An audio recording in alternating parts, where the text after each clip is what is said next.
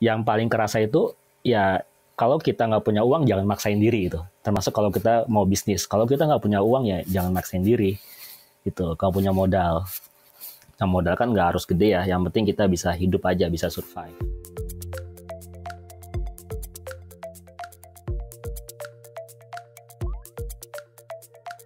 Selamat datang di Ceritanya Developer, podcast yang menampilkan developer, programmer, atau engineer Indonesia inspiratif yang tersebar di seluruh dunia.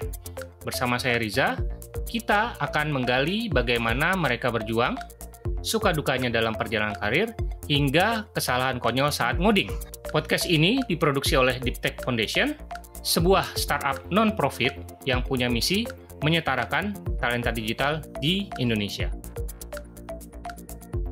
dari mulai mendirikan sebuah perusahaan uh, Kids Indonesia, pernah juga uh, jadi Google Developer Expertnya Android, dan kemudian sempat uh, merasakan kerja di Google selama uh, setahun lebih, dan sekarang uh, jadi Tech Advisor di Kementerian Pendidikan dan Kebudayaan. Nah, uh, sosok inilah yang akan kita interview sebagai narasumber di episode perdana ceritanya developer di 2021. Langsung aja kita sapa uh, Mas Ibnu Sinawardi atau yang biasa dipanggil dengan Mas Ibun. Halo Mas Ibun. Ya halo halo. Halo Mas Riza. Gimana kabarnya Mas? Baik baik baik. Walaupun udah mulai bosen ya di bangku yang sama mm -hmm. tiap hari nggak keluar keluar. iya masih WFH terus ya? Masih masih konsisten WFH. Nah, uh, kita akan ngobrol-ngobrol santai aja nih. Uh, saya pengen tahu, ingin menggali pengalaman Mas Ibun nih. Dari awalnya, dari tertarik belajar ngoding itu gimana sih ceritanya? Belajar ngoding dulu sebenarnya dimulai waktu SD ya, bukan ngoding sih. Jadi kayak bermain dengan fungsi di Lotus 123 itu ya. Dulu kan sebelum ada Excel, mainnya Lotus Nah dari situ baca-baca buku, terus SD tuh ya waktu SD sempet jadi bendahara kelas dan nyatetnya tuh di Lotus ya. Nah dari situ kan udah mulai interaksi sama komputer, bikin-bikin fungsi di Lotus. Kemudian ya ngerasain wah ini kayaknya seru nih. Jadi akhirnya sampai SMP pun masih ngoprek di depan laptop tapi nggak ngoding waktu itu. Lebih banyak ke mainan desain, Corel dan semacamnya. Nah mulai SMA waktu ada uh, belajar tentang Fox Pro atau apa ya lupa ya. Nah itu udah mulai rasa wah keren nih kayaknya kalau belajar ngoding. Nah udah akhirnya lanjut sampai kuliah ambil uh, programming, ambil IT, ya sampai sekarang keterusan ngoding gitu. Hmm. Jadi ya emang udah lama sih kayaknya tertarik sama komputer. Apa sih yang bikin ketertarikan itu? Uh, yang dari mulai Lotus ya mungkin uh, buat teman-teman yang uh, apa belum tahu ya Lotus itu kurang lebih kayak spreadsheet ya kayak Excel atau Google Sheet gitu ya. Iya betul ya. betul betul. Itu apa sih yang bikin yang bikin Mas Ibun itu uh, tertarik gitu yang tadinya jadi bendahara terus di komputerisasi habis itu malah kecanduan dan pengen apa pengen ngoding atau pengen uh, ngerjain apa bikin aplikasi gitu. Mungkin karena gara-gara kalau depan laptop tuh kesannya ya kita bisa ngelakuin apa pun tanpa banyak gerak kali ya. Ya emang dasar orangnya males gerak ya, olahraga aja jarang gitu.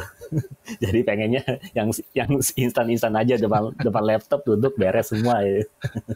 Oke, jadi bisa apa ya? Ada ada kemampuan untuk membuat sesuatu gitu ya iya, di depan Uh, duduk hanya dengan duduk aja gitu ya. Betul sekali. Hmm perasaannya pertama kali belajar ngoding itu gimana sih? Uh, seneng atau uh, stres atau gimana? Uh, stres sih pernah ya, malah sering. Malah stresnya itu malah bikin tertantang gitu. Misalnya ya, oh ini kenapa sih nggak bisa dikerjain, kenapa sih error terus? Nah itu kan jadi stres ya.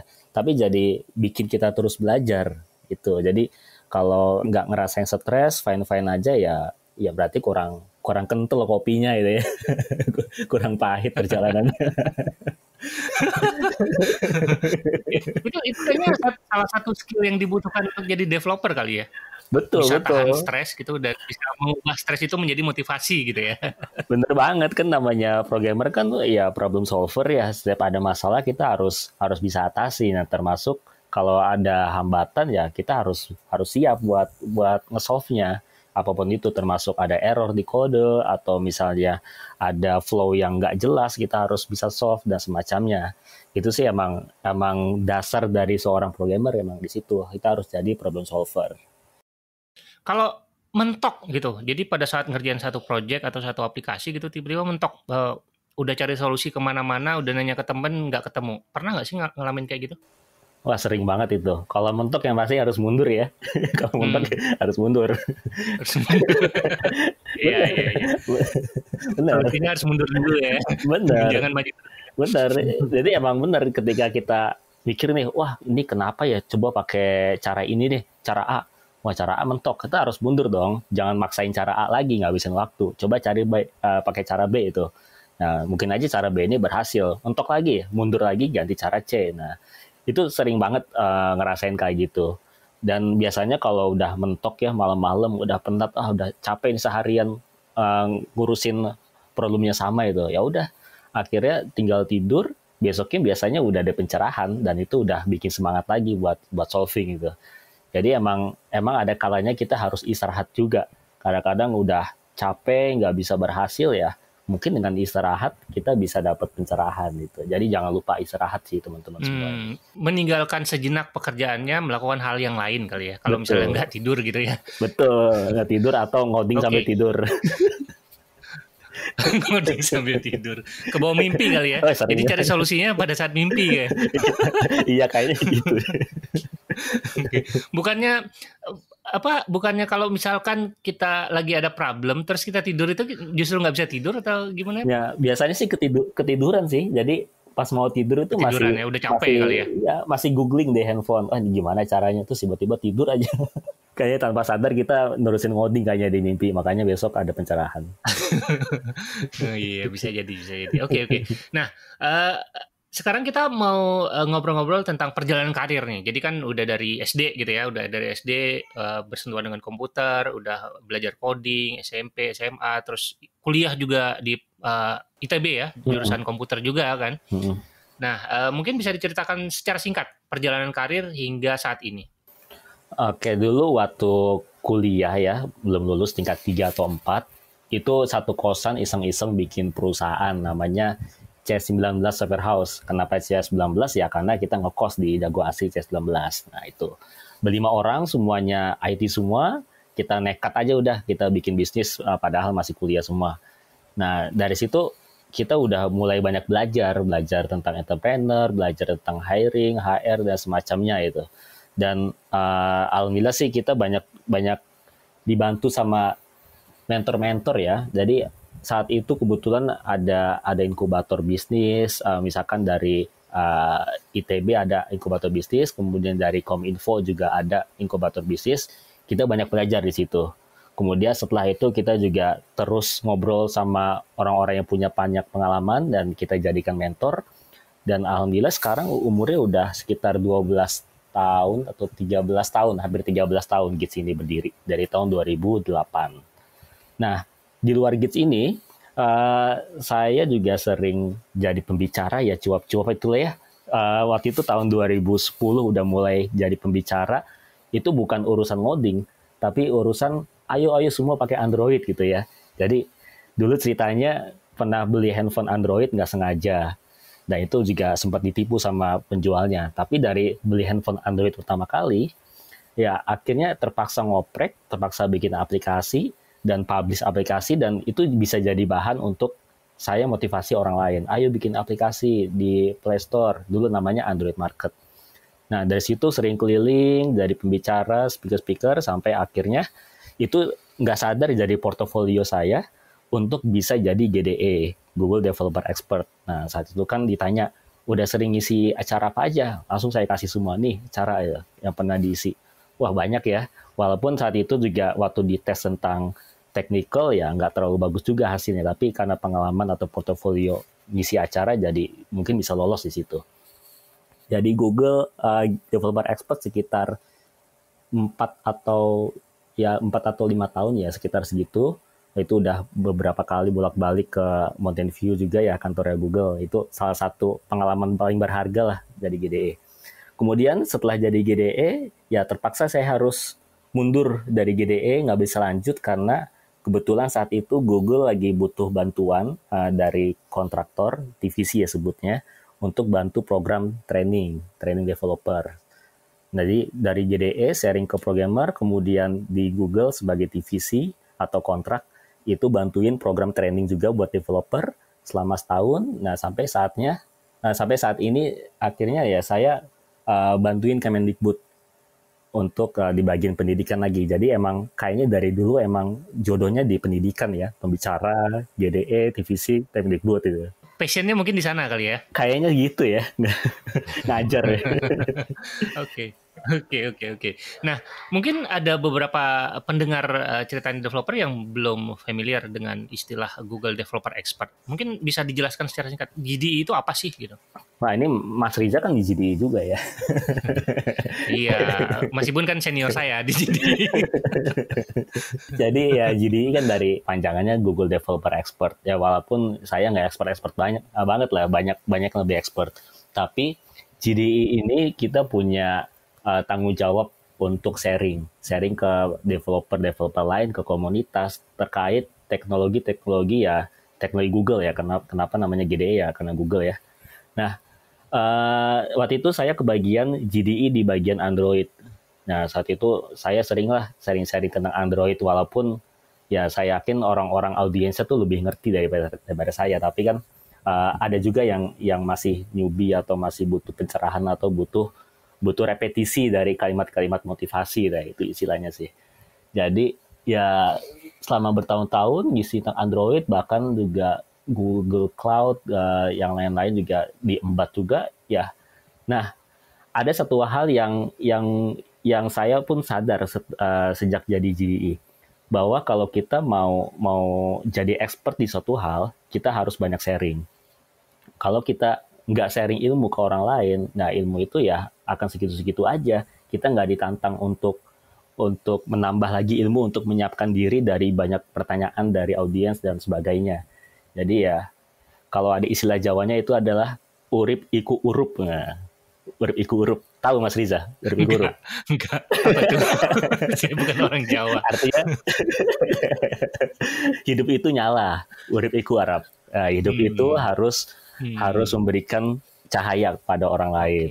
Nah, hmm. itu sih. Jadi istilahnya. Ya ya. Jadi meskipun katakanlah Mas Ibun uh, enggak bukan sebagai GDI, tetap aja keinginan sharing itu ada ya. Ada, ada masih. Masih tetap ngisi sharing kok. Masih terus ya. Uh, uh, tapi berkurang aja tawarannya. Berkurang. Iya, karena ada beberapa fasilitas yang disediakan oleh Google yang membuat kita bisa ya tadinya bisa terbang ke apa Southeast Asia ya uh, ke yeah. region kita ya mm-hmm. secara gratis gitu mm-hmm. kalau ada acara gitu ya. Apa ya yang membedakan mungkin ketika Mas Ibun istilahnya advokasi tentang Android akhirnya direkognisi oleh Google dan akhirnya uh, memberikan titel uh, eh, GDE ini ya. Betul. Kayak memberikan fasilitas lah gitu ya. Betul. Untuk bisa apa ya memberikan talk lebih banyak lagi di tempat-tempat lain gitu ya. Betul. Itu biasanya sebulan tuh full weekend keliling keliling kota ya. Itu lumayan lumayan enak juga enjoy teman kan hmm. kan harus ninggalin keluarga juga tuh kadang-kadar. Iya uh, benar. Nah, uh, kalau momen atau kontribusi yang membanggakan selama menjadi engineer, ada nggak sih menjadi uh, developer? Sebagai developer ya, oh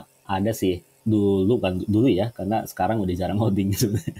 dulu uh, sering menang juara satu atau juara dua di Top Coder, Top Coder Challenge kalau teman-teman tahu Top Coder tuh dia ya platform buat kita bisa cari challenge, entah itu desain atau coding. Nah, saat itu banyak ikutan di desain dan juga coding. Itu seru itu saingannya sama orang-orang India, orang-orang Chinese itu. Jadi ngerasa, wah nyata kita setara ya sama orang India, sama orang luar negeri.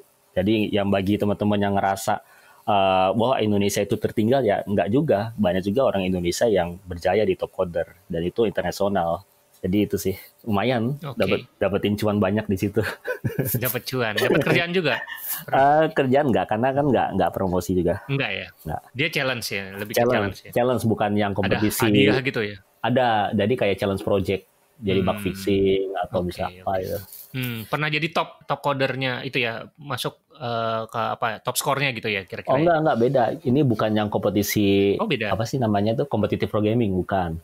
Tapi ini yang project. Oh bukan. Misalkan project uh, bikin project web pakai ya? React, okay. nah, bikin web pakai apa okay. ya? Itu cukup membanggakan ya? Membanggakan lumayan. Nah kalau yang memalukan atau ada kejadian-kejadian konyol gitu saat ngoding ada nggak sih? Ada sih bukan ngoding ya, tapi sebagai speaker. Bukan ngoding. Oh boleh boleh boleh boleh diceritakan Iya. silakan. Kejadian paling ngerasa malu itu ketika pertama kali ngisi acara di luar negeri pakai bahasa Inggris. Itu pertama kali banget itu. Bahkan bukan cuman ngisi Di acara mana? Di kota mana? di Malaysia padahal, tapi audiensnya pakai bahasa Inggris. Malaysia, oke. Iya, di Malaysia. Ah, sih, oke. Jadi pertama Ah. kali itu bawain tentang Android apa itu. Nah, salahnya itu slide itu belum jadi, belum dibikin waktu terbang. Jadi dibikinnya waktu udah sampai sana. Bahkan sampai subuh pun masih ngerjain slide. Nah, subuh ngerjain slide, paginya jam 7 atau jam 8 harus udah di sana. Nah, itu kan kelabakan ya, nggak ada persiapan, materi juga belum ready, bahkan nggak nggak ada contekan. Nah, itu bener-bener eh, ngomongnya nggak nggak teratur, nggak terorganize. Urutannya apa, kemudian eh, slide-nya ini tentang apa, itu agak lupa jadinya. Nah, untungnya eh, waktu itu karena dia banyak acaranya paralel, ya pesertanya tuh kebagi. Jadi yang peserta di gedung saya tuh di di ruangan saya itu cuma sekitar belasan orang, nggak banyak. Karena dia terbagi. Ada ada banyaknya di workshop waktu itu. Saya kan di bagian seminar. Nah itu sih kejadian paling uh, malu sih. Tapi itu jadi motivasi saya. Motivasi untuk nextnya harus lebih baik, harus better. Nah dari sejak saat itu setiap ada uh, acara uh, apa pun itu, entah bahasa Inggris bahasa Indonesia, selalu lebih well prepare aja. Nah itu udah kejadian waktu Hmm, ngisi di oke. Filipina itu benar-benar lancar. Oh, Oke. Itu eh, berarti salah satu momen eh, saat menjadi GDE ya. Betul saat jadi GDE. Nah, eh, kalau mentor nih, ada nggak sih eh, mentor di awal-awal karir gitu? Awal karir uh, banyaknya mentor bisnis ya. Waktu awal karir tuh. Mentor bisnis. Uh, jadi Mm-mm. waktu GITS ini baru berdiri, kita kan gabung inkubator dari Kominfo. Nah saat itu ada rekan namanya Ferry Budiansa. Beliau yang yang manage inkubatornya di Bandung. Nah dari dari channel beliau ya kita banyak terkoneksi dengan banyak-banyak mentor lainnya. Nah itu cukup salah satu booster kita lah pada saat itu sehingga kita masih bertahan. Mungkin kalau nggak ada inkubator itu udah bubar kali GITS-nya ini, nggak ada itu. Terus ada lagi Amar Rasyad, uh, beliau juga bantu di di inkubator yang alumni ITB. Terus ada Pak Budiman, nah, sampai sekarang masih masih sering kontak sama Pak Budiman ini. Itu mentor Oke. bisnisnya. Nah, selain mentor nih, ada nggak sih sosok eh, developer atau engineer yang diidolakan? Idolakan siapa ya? Paling sih bukan satu atau dua orang ya, lebih ke member di grup ya ya. Oke. Member di member di tech sih sebenarnya yang jadi yang jadi salah satu motivasi saya. Karena kan saya kan udah lama nggak ngoding sampai berjam-jam ya paling ngoding sebentar sejam dua jam nggak sampai Hmm. seharian ya. Hmm. Nah, kalau melihat dari obrolan di komunitas-komunitas, khususnya di tech kan ngerasa, wah ini saya udah ketinggalan jauh nih, harus belajar lagi supaya bisa catch up gitu ya. Nah, itu jadi salah satu ya idola lah, ya idola, wah grup ini keren nih bahasannya. Banyak istilah-istilah nggak ngerti, jadi harus googling lagi, harus belajar lagi. Itu sih jadinya. Hmm, bukan malah menjadi insecure ya? Bukan, bukan. Ada juga kali ya? Tapi kadang-kadang suka mikir, Adalah dikit-dikit gitu. ya kadang-kadang suka mikir, Iya. eh, ini perlu nggak sih belajar sampai segininya? Yang penting kan ya bisnisnya duitnya ya bukan teknik teknikalnya Oke oke oke oke. Ngomongin bisnis nih. Eh, Ngomongin eh, bisnis. Sekarang eh. lagi lagi ngerjain apa Mas Ibun sekarang? Eh, proyek ya atau kerjaan ya. Sekarang sih aktif di Kemdikbud ya. Ah, di Kemdikbud ini full time ya dari pagi sampai eh, ya seharian lah full day itu terus eh, yang kita bantu ya banyak sih yang di di Kemdikbud ini. Pokoknya ap- apa pun yang bisa memperbaiki sistem pendidikan ya kita coba cemplungkan. Banyak sekali ya yang bisa kita bantu. Nah itu kita banyak juga sih eh, saya khususnya banyak belajar dari teman-teman yang ada yang bantu Kemdikbud juga karena bukan cuma saya ada banyak termasuk ada Mas Ibam juga member Diktek gitu. Nah itu sih kalau eh, aktivitas yang urusan IT-nya kalau non IT sih ada banyak sebenarnya. Apa tuh? Mungkin bisa di-share sa- satu atau dua gitu yang non IT. Kalau non IT ya paling sekarang jadi ketua RT sih udah setahun lebih. Oh iya, jadi ketua RT. Wow. itu itu ketua RT itu job desk-nya apa ya? Tergantung lokasi ya. Kalau lokasinya Oke. di komplek ya di komplek kayak eh, isinya orang-orang menengah itu ya.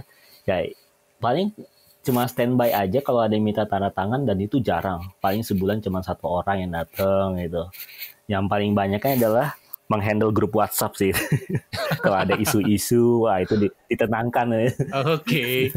apalagi okay. apalagi COVID kayak gini kan, hmm, bingung yeah. nih mau disebar atau dirahasiakan. Nah itu kan. Oh, Oke, okay. jadi kalau misalkan COVID. ada yang isu yang terkena COVID itu uh, harus ditangani ya, apakah dirahasiakan atau uh, dikasih pengumuman? Iya, gitu ya? dikasih tahu. Iya, kan hmm. kasihan juga sama pasiennya. Sering saya tanya mau diumumin nggak? Kalau hmm. enggak ya nggak apa-apa kalau mau ya silakan gitu. tapi udah ada yang gitu kejadian gitu kena udah tetangga sebelah saya kena itu oh wow ada ada dan itu ya macam-macam lah. Pro pro kontra banyak. Ada yang bilang ah udah nggak usah sebar ada yang bilang nggak apa sebar aja. Ya pokoknya nggak bisa menyenangkan semua pihak oke oke. Okay, ya lumayan ini juga ya lumayan bikin uh, jadi bahan pikiran juga ya berarti ya. Iya ya ya kan problem solver kita. Problem solver asik. Nah selain jadi ketua rt nih ada ada uh, hobi nggak sih yang di luar di luar uh, pekerjaan di luar uh, komputer dan programming hobi paling miara ikan hias ya oh, yang okay. ada di rumah aja ada hmm. arwana ikan diskus Ush. dan ini mindsetnya emang beli untuk dijual sih jadi investasi ah. Oke, okay, jadi sekalian bisnis juga ya berarti ya. Eh, iya, semua hal yang kita lakukan harus ini harus punya imbal baliknya lah. Hmm. Oke. Okay, Termasuk sekarang ini lagi lagi hobi bukan hobi ya apa ya? Lagi suka investasi ke saham lah, trading oh. saham. Dan hmm. ini uh, saya rasain manfaatnya nambah wawasan banget lah, khususnya kita orang IT. Orang IT kan biasanya ngomongnya seputar IT aja. Ketika ngobrol sama orang-orang dari sektor lain, kita nggak bisa nyambung. Ya. Itu sering banget kejadian. Dari sejak saya, uh, kan saham saya, saya udah lama ya, tapi mulai aktif lagi setahun terakhir ini, itu benar-benar kerasa manfaatnya sih. Jadi banyak nambah wawasan terkait uh, berbagai okay. sektor. Nah, ngomongin ngomongin apa soal di luar apa di luar uh, lingkup uh, pemrograman aja. Boleh dong uh, apa kita para pendengar ceritanya developer dikasih tips gimana seorang developer Android uh, waktu dulu Mas uh, Ibun awal-awal karir gitu akhirnya bisa jadi uh, bisa bikin perusahaan dan jadi CEO apa aja sih yang harus disiapkan untuk jadi pemimpin sebuah perusahaan gitu? Kan sulit ya katakanlah kalau misalkan uh, secara natural misalkan kita developer itu biasanya uh, minimal jadi VP engineering atau jadi CTO dari sebuah hmm. perusahaan kan ini Mas Ibun kan jadi direktur utama lah gitu ya jadi hmm. CEO gitu hmm. apa aja sih yang harus disiapkan sebenarnya mental aja sih jadi waktu itu saya jadi CEO juga CEO rasa CTO ya. karena nggak ada CTO waktu zaman saya itu jadi saya CEO merangkap CTO jadi segala hal keputusan lebih ke banyak ke pendekatan teknologi instead of pendekatan bisnis atau apa itu. Jadi sebenarnya ya uh, kalau kita mau jadi CEO gampang ya tinggal bikin aja perusahaan, gak usah ada badan hukum gak apa-apa, tinggal bikin kartu nama jadi CEO gitu ya. Yang penting kan gimana caranya biar bisa survive gitu. Iya. Tapi kan uh, sambil jalan kan bukan hanya mikirin tentang teknologi yang digunakan atau apa gitu kan. Kita harus cari project, harus bikin gimana perusahaan ini berkembang, bisa scaling, bisa cari project baru dan lain sebagainya kan.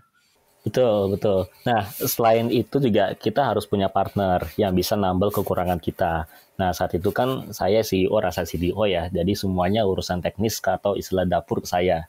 Nah, untuk urusan jualan, urusan masalah keuangan itu ada partner. Waktu itu uh, saya dibantu sama Ray Rizaldi. Nah, dia uh, founder juga, uh, sampai saat ini juga masih sekarang jadi CEO, tapi CEO-nya beda pendekatannya. Pendekatannya lebih ke budget, ke keuangan, tapi uh, sekarang punya CTO gitu. Jadi uh, penting sih punya partner karena kalau nggak punya partner kadang-kadang ya kekurangan kita nggak bisa ditambal sama yang lain. Jadinya agak susah nanti buat diskusi atau buat solving suatu masalahnya. Itu sih jadi boleh jadi CEO tapi pastiin ya punya partner aja. Hmm, Oke. Okay. Gitu Jadi sih partner uh, memilih partner yang tepat itu juga betul banget, ya? betul, betul. Kayak kawin lah ya, harus harus, harus tepat, tepat itu. Oke. Okay.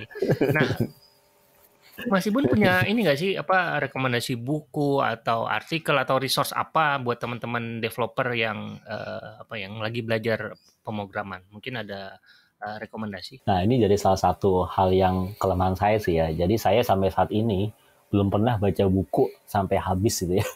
jadi buku sama depannya doang udah selesai bosen. apalagi tentang IT ya. Banyaknya malah baca buku tentang budgeting, hmm. baca buku keuangan gitu. Nggak apa-apa, nggak apa-apa. Di luar di luar pemrograman uh, juga nggak apa-apa. Ada mungkin ada buku yang berhubungan dengan bisnis mungkin oh, okay, atau okay. apa? Paling, hmm, hmm. kalau yang saya rasain sih ya paling buku tentang budget keuangan. Nah itu ada ada aplikasi namanya YNAB, Unit a Budget. Itu saya pakai udah hampir 2 tahun aplikasinya, walaupun berbayar saya bayar itu, karena sangat penting. Itu ada bukunya juga, buku gimana ya caranya kita mengelola keuangan. Nah itu bisa dipraktekkan di bisnis, di mindset kita, atau di mana pun.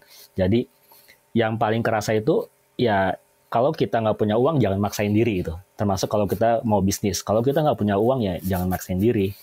Itu kalau punya modal. Nah modal kan nggak harus gede ya. Yang penting kita bisa hidup aja, bisa survive. Nah, itu sih sebenarnya. Jadi unit a budget nama bukunya YNAB. Okay, nah, itu. Itu salah satu buku yang saya habisin ya, buku hmm. selain novel ya, gitu doang. Oke, oke, oke. Unit budget ya. Oke. Okay. Menarik bukunya. Iya, nah, betul. kalau ada teman-teman yang apa yang mendengarkan dan mau ngobrol langsung atau mau nyapa Mas Ibun di uh, dunia maya, kira-kira yang paling enak tuh uh, apa approach-nya lewat mana? Hmm, kalau approach buat dapat update ya paling Instagram itu ya. Tapi kalau buat sekedar terkoneksi ya bisa ke LinkedIn, uh, GitHub juga bisa dilihat itu jarang hijau-hijaunya ya. jarang jarang lagi GitHub. ya paling kalau mau lihat update Instagram ya Instagram ya. lah, lebih update daripada hmm, yang lain. Oke okay, oke. Okay. Oke, kalau gitu uh, terima kasih banyak Mas Ibun atas uh, ceritanya yang menarik ya, dan sudah hadir di ceritanya Developer Podcast. Sama-sama, makasih juga Mas Ari, Mas Riza. Kritik dan saran bisa dilayangkan ke rizafahmi at gmail.com atau mention lewat Instagram deeptech.id dengan hashtag ceritanya developer. Jangan lupa support podcast ini dengan berdonasi lewat karyakarsa.com slash rizafahmi atau beli merchandise ceritanya developer di www.ciptaloka.com slash plus Riza Fahmi. Sampai jumpa lagi di episode berikutnya. Bye!